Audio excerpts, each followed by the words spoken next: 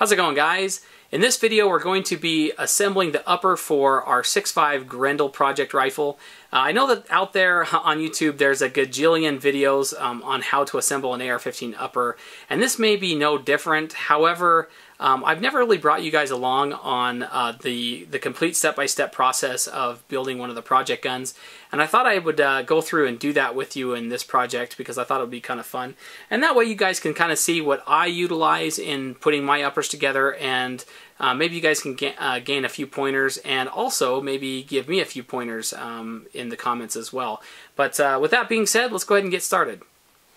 So what we're going to be using uh, for a block is this Nomar block. You can see that I've actually torn the lugs um, out of this block, but um, we're not going to be using it with the lugs anyway, really. So um, what you do is you take your upper and you just place it inside there, just like that. And then there is a top block that goes on top. And then, so it's set up like this. And you just place it in the vise horizontally. So we're going to place it in there, tighten her up. Now what we're going to do is we're going to take our barrel and we're going to align the pin with the upper receiver, the notch in the upper receiver. We're going to make sure the barrel is seated nice and tight inside the notch. Okay, now once the barrel is set inside the notch nice and tight, you're going to take your barrel nut, and this one is actually included with uh, the Midwest Industries handguard.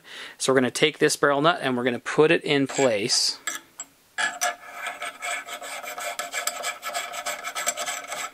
Hand tighten it down here. Alright, now we've hand tightened the barrel nut. And what we're going to do now is we're going to utilize the wrench that also comes with, from Midwest Industries with the handguard. And we're going to torque down the barrel nut. Now, proper torque really is between 30 and 80 foot-pounds of torque. What we're going to do is we're going to start out with a minimum of 30 foot-pounds, and we're going to see how well the, the gas port is aligned with the, the notches in the, the barrel nut. Hopefully we'll get pretty close, and if not, we will apply more torque until the gas port is lined up with the barrel nut. Okay, so I have my torque wrench set to 30 foot-pounds of torque. We're going to line up the nut here. We're going to torque it down to 30 pounds. Okay, there's 30 pounds. Torque. Now we're going to take the gas now we're going to take the gas tube and we're going to actually check to see if the port lines up. And it doesn't. It looks like we are one or almost three quarters of a lug off. Okay, so we're going to go up to 50 now and see how well that works.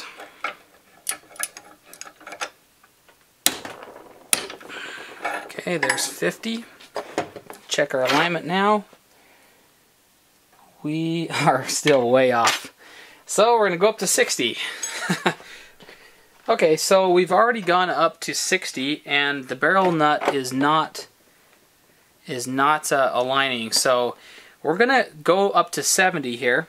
You can really go up to 80. So if it goes up to 80, then um, then and it's still not aligned, then I might have to shim the uh, barrel nut to make it actually fit. So, but first we're going to go up to 70 and just see where we're sitting with that.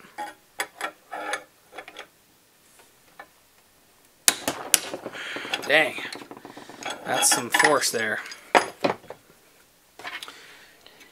And that is pretty much right on. So I went back through off camera and just uh, loosened it back up and then retightened it again and I actually got it to line up with just over 75 foot-pounds of torque. Um, it's absolutely perfectly aligned right now. The wiggle back and forth gives us play on equal side. So there it is, mounted up and ready to go. So now what we're going to do is we're going to take our gas block and we're going to take our gas tube and we're going to put them together and pin them in place. Alright, so we've got our roll pin punch and we're going to line up the gas tube here. Trusty block of duct tape. My favorite block to utilize. Actually what we're going to do first is I'm just going to get this I'm going to just get this uh, roll pin started. That's how I like to do it. Typically Typically I like to just give that little pin a whack just to get it started. And then we're going to uh, make sure we're properly aligned here.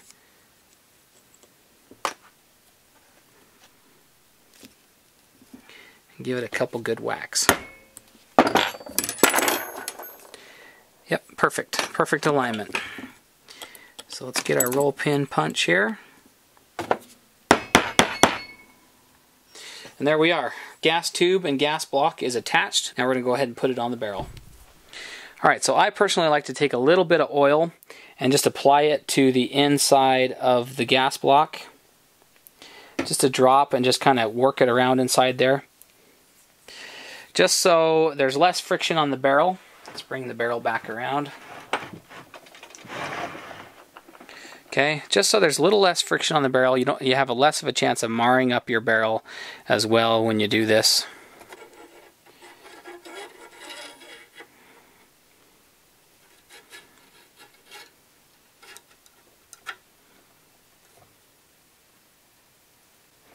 Then just kind of work it into place. Back and forth. The lube helps as well on that. Okay, good.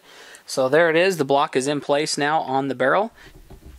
The thing that's cool about the Lilja barrels, I don't know if you guys can see it in this light, but there's a flat spot on the bottom here that they've actually milled out of the barrel. Allows you to line up the gas port uh, fairly easily, and the set screws uh, on the flat portion doesn't allow the, the uh, gas block to uh, torque at all. keeps it in place. Midwest Industries with their with their gas blocks also comes with a little bit of this thread mate. Uh, it is red Loctite, so we're going to go ahead and use a little bit of this thread mate on the set screws. We don't need a lot, just a little bit here. Okay, there's one. Torque down pretty well there.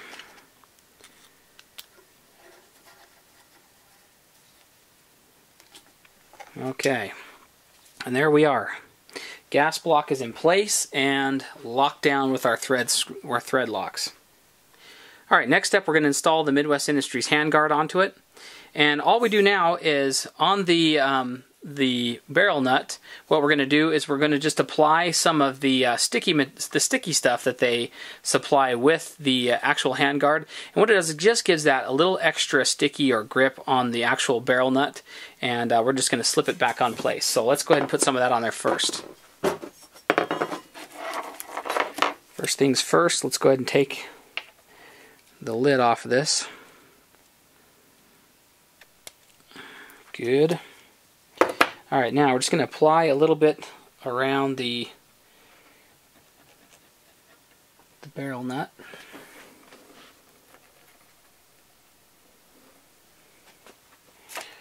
Take a little bit of plastic here. Just kind of rub it in place here. Okay, good. It smells just like Loctite, so it's got to be something very similar to that. All right, now what we're going to do is we're just going to slip the handguard over top of our barrel. Carefully like. Let's tighten that up.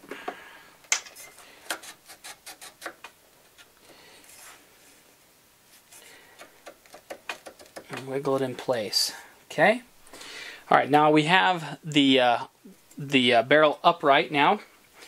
Okay, now to make sure that our rail is properly lined up, we're going to take our actual scope mount here and we're going to lock it down in place, making sure that each that there's a lug on either side. And as we lock that down, it's going to make sure that the rail is properly aligned with the upper receiver. Now what we're going to do is take our torque screwdriver. We've got it set to, I've got it set to 18 pounds. They say 17, they say 15 pounds, but I like to go a little bit heavier on this. And so we're going to torque it down to about 18 pounds. Okay, there's 18 pounds on that. Again, Midwest Industries says 15 pounds. I like to go a little heavier just because it feels a little bit better to me. All right, so that's about 18 roughly pounds there. All right, so now we'll take our quick detach thing off here again. Okay. All right, guys, there we go. Now the handguard is in place. All right, next thing we're going to do is we're going to take our Daniel Defense flash hider and we're going to install it on the rifle. I'm going to take our crush washer here. All right, so we've got a crush washer. So we're going to put our crush washer on and then we're going to thread on our muzzle device. The uh, 6.5 Grendel uses a 30 cal muzzle device. So this one is, the threads are 5 eighths by 24. Okay. Oof, we're going to have to shim that bad boy out, I think. This thing's not going to even come close to lining up, so what I'm going to do is I'm going to actually shim it out a little bit. So I was able to solve the mistiming issue with the flash hider by taking the crush washer here and actually running it over the file. So I just kind of filed it down on either side and I just kept filing it until the timing was almost perfect. So anyway, so that solved the issue there without having to shim it or do anything like that. So there is the uh, Daniel Defense flash hider on the rifle. We're going to be changing out this mil-spec trigger with a Rock River National Match 2-stage. The corner of my of my uh, tool bit set here uh, to push the pins. So what I'm going to do is get them started just with the corner here so as to not mar the finish. Then I'm going to use my pin, my punch, to just push it the rest of the way through here. Through and out. And now what I'm going to do is release the tension on that. Pull that out. There's that piece. Going to push this the rest of the way through here as well. Okay. Release the tension nice and slow and even and bring the fire control group out here. Alright. Alright, there we have it. Just our standard mil-spec fire control group. Alright, so we have our national match two-stage trigger here. We're going to go ahead and put this into position first. Drop the... Gotta have it on the fire position. Oop, yep, fire position. Okay. Then we're going to align our holes up and put our first pin in.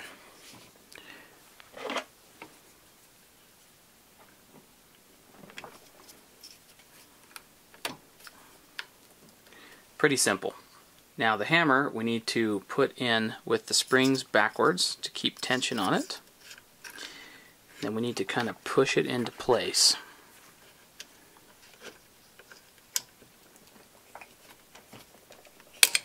Oop. Try that again here.